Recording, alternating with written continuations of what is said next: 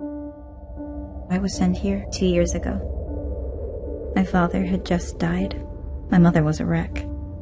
No one comes to Brangwen unless something bad has happened to them. It gives me great pleasure to welcome another freshman class. This is gonna be the best year ever. I've missed you so much.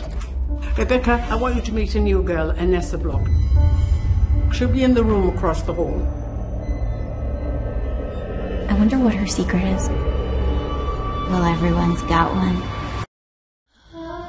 In all of the classic gothic horror stories, we see anxiety about female power, female sexuality. A mysterious stranger begins to take over the narrator. The vampire's a very lonely figure. She wants someone to be all hers. Forever. She's a nice person if you give her a chance.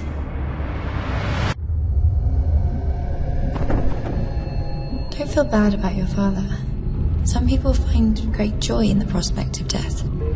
There's something weird about Ernessa. I think you're imagining things. You have to believe me. You know, cooped up here, your girls get so close, all that emotion can turn toxic. My mother, she butchered me. My father, he ate me. My sister. Something terrible is happening. It's like she's invading my mind.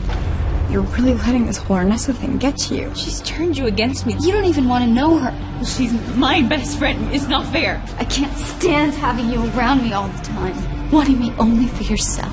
Don't you see she has ruined everything for me? There are three things you find in every vampire story sex, blood,